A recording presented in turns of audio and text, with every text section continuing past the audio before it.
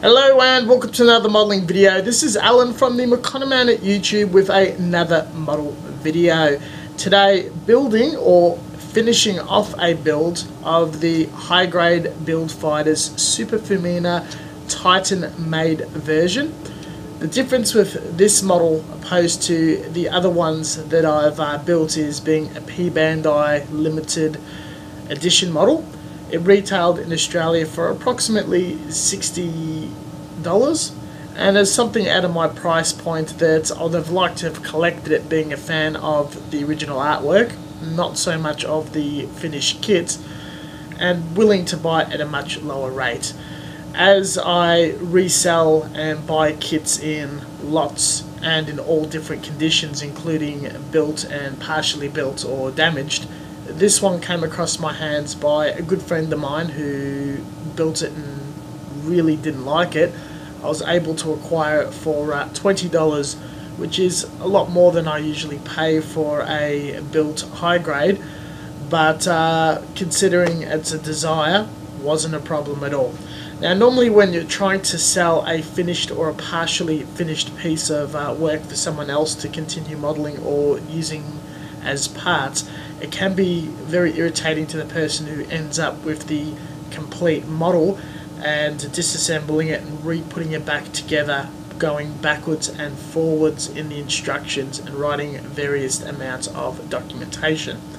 Luckily, knowing the modeler, and you can see in these pictures, it has been initially snapped together very well, but the process he's taken is nothing like my usual process, and this is where it's interesting dismantling it, even causing a little bit of damage along the way to be repaired at a later date. It's also interesting to study parts that my friend does not necessarily focus on, certain nubs, certain flash marks that I always remove before going into the painting stage.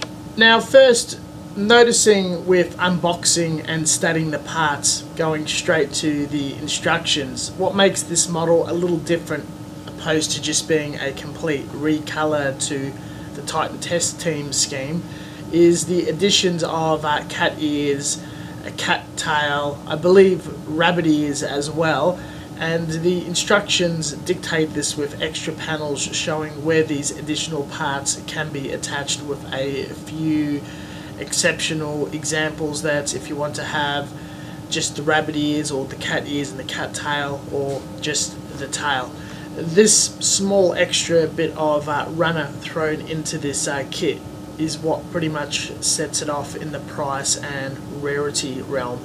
My usual process of rebuilding a kit, and I've done this a few times, you remember with the Wavehawk Custom, I'll dismantle the model being humanoid or figurative. With robots, it doesn't matter. Tanks and planes, you just get a whole hull and extra details are glued together once we're going into articulated territory, it is very irritating. I break it down to lower uh, hips and legs as one part, arms and shoulders for one part, torso, head, weapons and accessories, and backpack. Each cluster of parts is assigned a Ziploc bag and I work from cluster to cluster by breaking it down to the minimal amount of parts, layering it down and taking a photo to remember how it goes back together or how it is in base part form to re-refer back to the instructions. Once all the parts are laid out, then I study each one for any extra or excess work done, damage, nubs, any imperfection, and repetitively click the model back together and dismantle. My process of loosening the pegs is also done for easier uh, build and as I'm pulling and jarring open each part with a part separator some of the pegs can snap. The instructions are still important to have as well as a reference of the finished model which I take a photo of before pulling apart and having it on a tablet or laptop if the instructions do not come with the kit when you're buying secondhand, have a look online such as Hobby Search or the manufacturer's web search, a little bit of a Google search or asking around certain boards if someone has the same kit for a scan to again study off a screen or a tablet. Condition wise, I was very lucky that there was no gouging at the nub mark areas. The nubs were uh, protruding ever so slightly. Parts were not missing or particularly uh, broken, especially points of articulation where pegging and putting a pin inside of a broken peg is required for added or additional strength. The model is well designed on that regards. Foil stickers were applied. When peeled back, a residue is left behind, and washing or cleaning the plastic was definitely required with a very heavy solvent or stripper. Enough stickers were left behind to reapply for a new set of uh, eyes. I'm also not sure of the history of the model, if it's been handed multiple times or if someone's handled it when they've had grease or food residue on their hands. So that's quite appropriate well before paint is being applied. Once each group has been inspected, cleaned, and whatnot, I assemble according to color separation as this is the normal part of my model once I'm cutting off according to the instructions and test snapping. Plastic glue is or cement is applied at the seams to permanently join together and Mr. Dissolved seam line putty applied right over the seam and sometimes if it's quite long and likely to re-split reinforced with super glue. Each sector apart would be allowed 24 hours to dry or the next session, pulled out, sanded, and a test amount of primer sprayed on top to look for further imperfections or again a split seam. Primer is applied via Tamiya lacquer primer in a bottle, airbrushed with a 0.5mm airbrush thinned with automotive lacquer thinner on little pegs stuck into a board.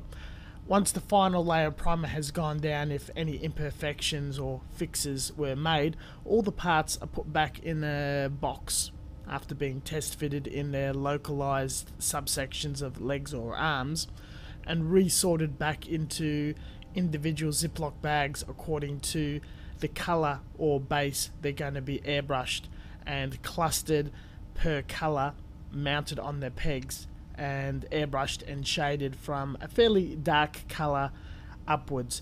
I didn't want to base anything in a pure black or pure white. This model is very dark and depicted in artwork as being all black.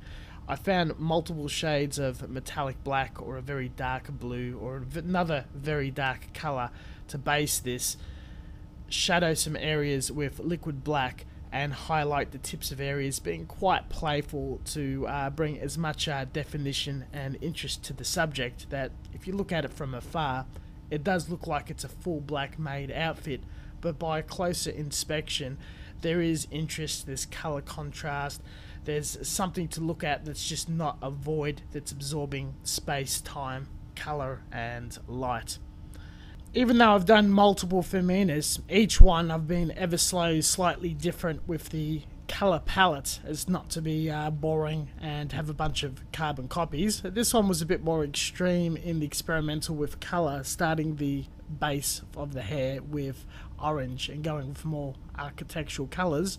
The flesh was using what stock I've had and blushing it up with the Laphicus uh, clear orange for extra tone, and a few areas just had some touch up of uh, various types of paint by hand, uh, airbrushing with a 2mm nozzle in the uh, rabbit ears, and giving everything a wash regardless to pick up any seams, detail, panels, all that sort of thing, not being a dead black you could still see what was in those seams and then touching up the edges with a silver or a white weathering pencil and even doing the eyebrows on the face with a makeup pencil and topping it off with a matte lacquer clear. The best thing about not painting the whole thing black or dark blue and having four or three Ziploc bags of different very dark colours, the mechanical machine bits such as the backpack, the arms and the weapons were done in metallic black with highlights of gunmetal and whatnot, and that difference in pigment and sheen to the matte clothing offset it, and two tones of uh, matte clothing more or less made this not just what it looked like in bare plastic, even though it was clear that you'd have black parts and non black parts. The apron and shoulders have always been a problem with each kit, as being stark white, it absorbs everything, especially on a black background. Uh, this I didn't mind too much, but with a grey wash, I was able to pick up the details and divert the attention of the eyes from the lackluster detail that could be created through shadowing or shade. A few details like the belt buckles and whatnot were also hand painted in gold. Uh, the washes or black wash definitely outlined it and uh, made it far more easier to blend in with the whole project, and everything received a final coat of clear matte for clothing and remain glossy or semi glossy for the mechanical components, contrasting the two for sure.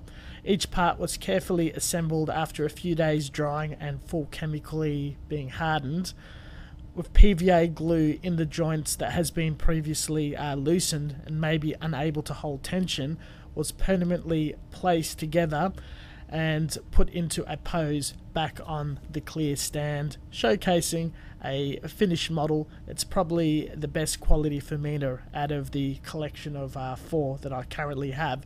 The first one done quite a while ago with an obvious uh, image or display of progression in improvement and skill. This concludes the build, and far more long-winded than a model that I haven't built from box. Funnily enough, there was a bit to talk about. Thank you very much for watching. As always, until next time, stay tuned for further content.